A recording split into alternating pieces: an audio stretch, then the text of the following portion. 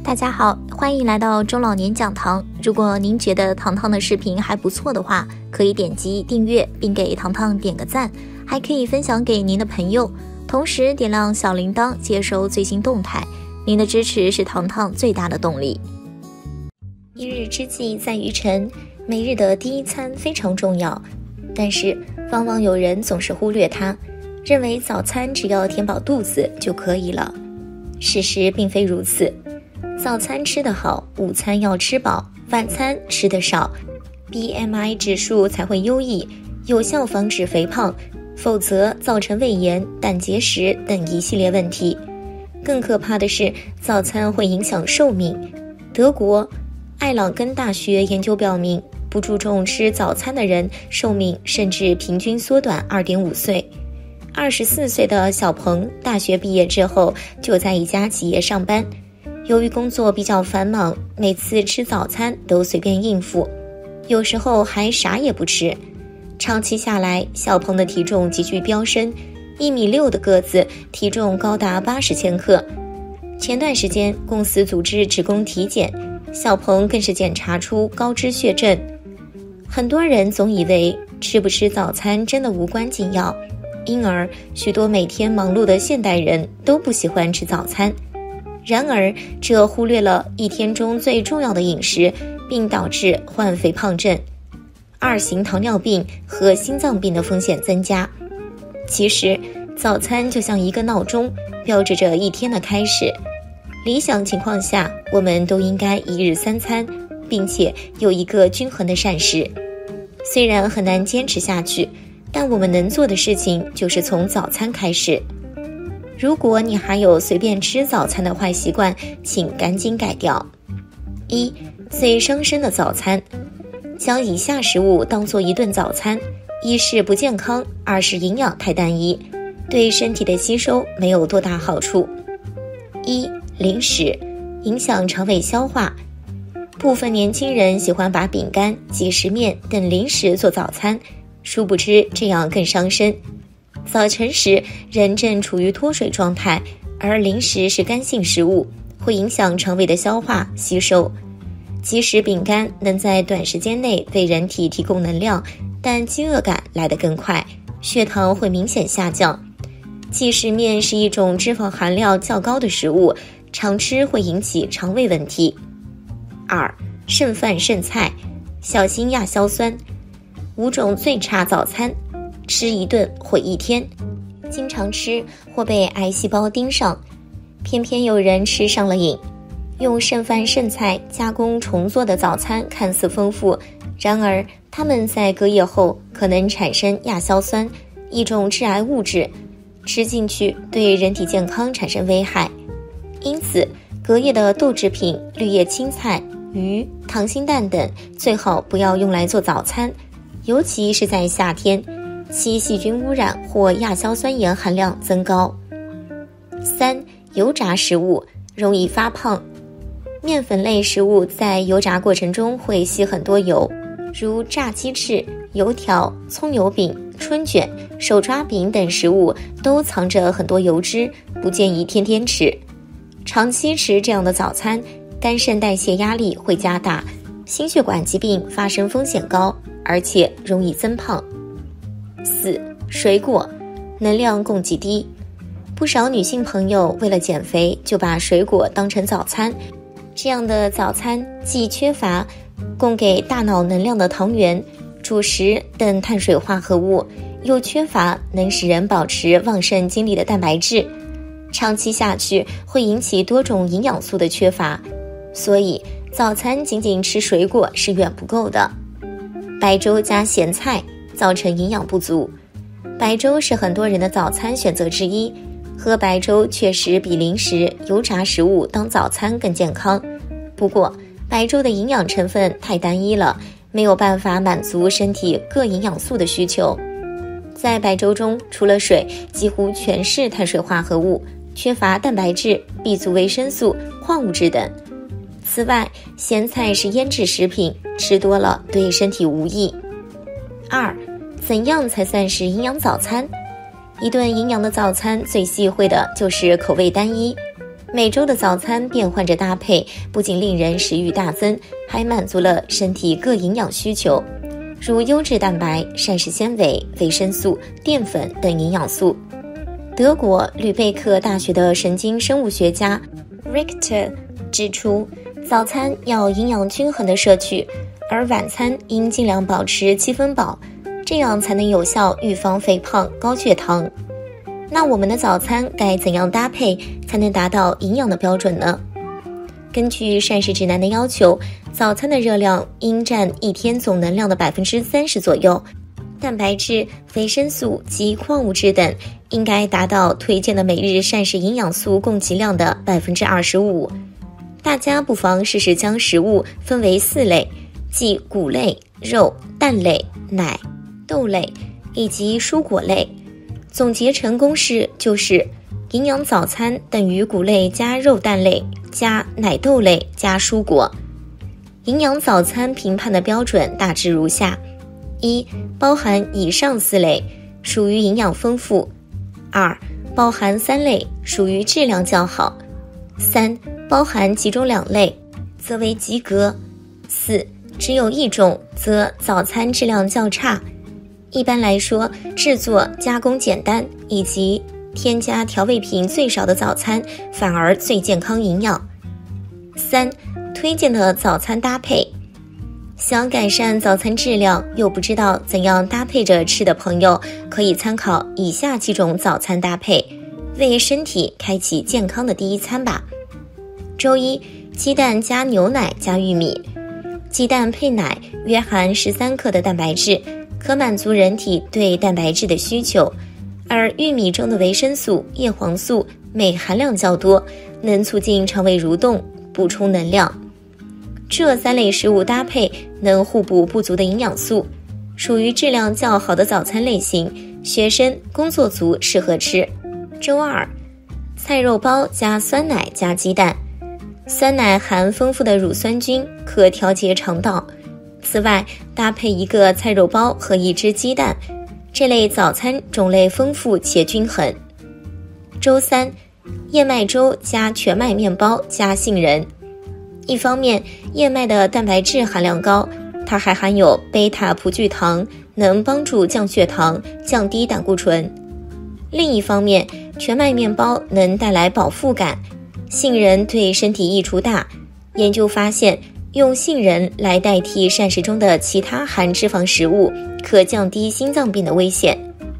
建议减肥、三高、便秘人群可以试试这样吃。周四，南瓜粥加烧麦加紫薯。南瓜有丰富的果胶、胡萝卜素，用它来煮粥能起到养胃的作用。加之紫薯帮助润肠通便，烧麦含肉类。能增加饱腹感和肉食蛋白，这份早餐搭配是肠胃较差者的福音。周五，鸡蛋卷饼加玉米加圣女果。鸡蛋除了蒸着吃，用来做卷饼也增色不少，易勾起食欲。玉米和圣女果就不多说了，它们所含的维生素充足，特别是圣女果，其维生素含量比普通番茄高一点七倍。周六。豆奶加全麦吐司加橙子，大豆中有优质的植物蛋白，能稳定血压、降低胆固醇，其钙的吸收率高。对于部分乳糖不耐受者来说，可用豆奶代替牛奶。另外，每天吃两个橙子就能满足人体对维生素 C 的需求了。周日，低脂酸奶加杏仁，这份早餐很适合想减肥的朋友。低脂酸奶与杏仁的组合能达到双倍的减肥效果，降低脂肪的摄入量的同时，又增加明显的饱腹感，帮助控制体重。今天糖糖要给大家分享的是，这五种早餐越吃越要命，很多人天天都在吃，专家建议赶紧停下。经过一晚上的消化，胃里空空如也，这个时候没什么比吃上一顿美味的早餐更幸福的事了。现在的人都知道早餐很重要，不吃早餐会给身体造成很大的伤害，但却忽视了早餐吃什么也很重要。要是吃的东西选错了，一样会给身体带来很大的损害。一、你的早餐可能吃错了。豆浆、油条、清粥、小菜，这些我们常见的早餐营养搭配其实并不合理，特别是对年龄较大、有慢性基础疾病的人来说，常吃这几种早餐对健康可能很不利。赶紧看看到底是哪里出错了呢？油条加豆浆，油条配豆浆可以说是传统中式早餐的代表了，其受欢迎程度在早餐中绝对位列前茅。但这个搭配存在三个问题：一、高油脂，油条的油脂含量通常在百分之十五到百分之四十左右，热量偏高，且食用后不易消化；二、营养差，营养素经高温油炸后会被破坏，同时整个搭配缺乏维生素摄入，营养不均衡；三、伤大脑，损肝肾。淀粉类食物在油炸时会产生大量的丙烯酰胺，这种物质具有神经毒性，可导致认知功能及记忆力减退。一些摊贩常会将油反复使用，易产生反式脂肪酸、多环芳烃类等有毒有害物质，对肝肾、血管等都会造成损害。有些朋友虽然不吃油条，但经常吃葱油饼、糖油饼、春卷等食物。一样都是高温油炸食品，具有同样的健康隐患。清粥加咸菜，清粥小菜也是不少家庭早晨餐桌上的常客。但清粥主要的营养就是碳水化合物和水分，非常单一。它的升糖指数比较高，会导致体内胰岛素在短时间内大量分泌，增加肥胖风险。对于患反流性食管炎、消化性溃疡的病人来说，经常喝粥还会使胃酸分泌增多，令病情加重。而且，不少人配粥的小菜不是现炒的新鲜蔬菜，而是酱菜、豆腐乳，含盐量高，常吃可能诱发高血压、损害肾脏、增加骨质疏松风险。牛奶加鸡蛋，牛奶加鸡蛋是不少人心目中排名第一的健康早餐。这两样食物搭配在一起，高蛋白、高钙质，怎么会不营养呢？但如果仔细想想，你就会发现，这种配合缺少了一种很重要的能量物质——碳水化合物。人体每日所需能量的百分之三十左右来自早餐，而早餐只吃鸡蛋、喝牛奶，缺乏了碳水化合物，人进食没多久就会感到饥饿，不仅对肠胃不利，还会影响人的精力和注意力。工作和学习效率随之降低。饼干加饮料，很多上班族、学生早上来不及吃早餐，习惯去便利店买点饼干、饮料凑合凑合。但饼干缺少优质蛋白，含盐、含糖量通常又比较高，常吃易造成营养不良或肥胖。而且早上很多人的身体都处在饥渴甚至脱水状态，各种消化液分泌不足。这时吃干干的饼干不利于肠胃消化，即便搭配上饮料也不健康。蔬菜加水果，爱美女士和减肥人士有不少会选择用水果蔬菜当早餐，看似健康，实则不仅达不到减肥目的，还会导致蛋白质等营养素缺乏。早餐长期不吃主食，还可能导致身体各种功能削弱哦。二，营养早餐有四要。这些常见的早餐居然都不合格，那一份营养早餐到底应该是什么样的呢？具体来说，有以下四要：一要有八十到一百克两谷类食物，谷类富含碳水化合物，是人体能量的主要来源。每天早上吃八十到一百克两谷类食物，在提供能量的同时，还能补充 B 族维生素、矿物质及膳食纤维，是一顿营养早餐的基础。不过，白米、白面等精粮在加工过程中营养会有所损失，建议将其中的三分之一替换成燕麦、糙米、小米等全谷类食物，可帮助控制体重并延缓餐后血糖上升。二，要有五十到七十克的肉、蛋、奶、豆类，鸡肉、牛肉、鸡蛋、鹌鹑蛋、牛奶、奶酪、豆腐等都是优质蛋白的不错来源。早餐补充优质蛋白，可以补充碳水化合物饿得快的缺点，延长人的饱腹感。